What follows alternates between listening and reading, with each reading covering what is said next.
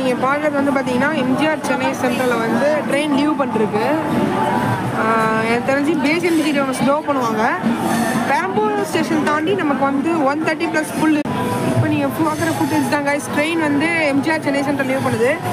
அங்கே இருக்கிற ட்ரெயின் வந்து என்னென்னு பார்த்தீங்கன்னா இந்தியா இந்த திருவனந்தபுரம் அந்த பக்கம் இருக்க அந்த ஹம்சஃபார் ஜென்ரேட்டர் வந்து பார்த்தீங்கன்னா லால்பாக் எக்ஸ்பிரஸ்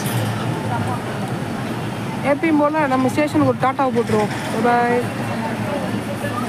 பார்த்தீங்கன்னா நம்ம பெரம்பூர் தாண்டதுக்கப்புறம் ஒன் டுவெண்ட்டி செவன் ப்ளஸ் போவோம் ஸ்பீடு அந்த ஸ்பீடோ மீட்டரில் நான் உங்களுக்கு காட்டுறேன் கண்டிப்பாக இதோட டீட்டெயில் ரிவ்யூ வந்து நான் வீடியோவில் போஸ்ட் பண்ணுறேன் நம்ம சேனல் நீங்கள் ஷேர் லைக் சேனல் சப்ஸ்கிரைப் பண்ணிட்டு பெல் ஐக்கான் கிளிக் பண்ணி வச்சிங்கன்னா மட்டும் தான் வீடியோ வரும்.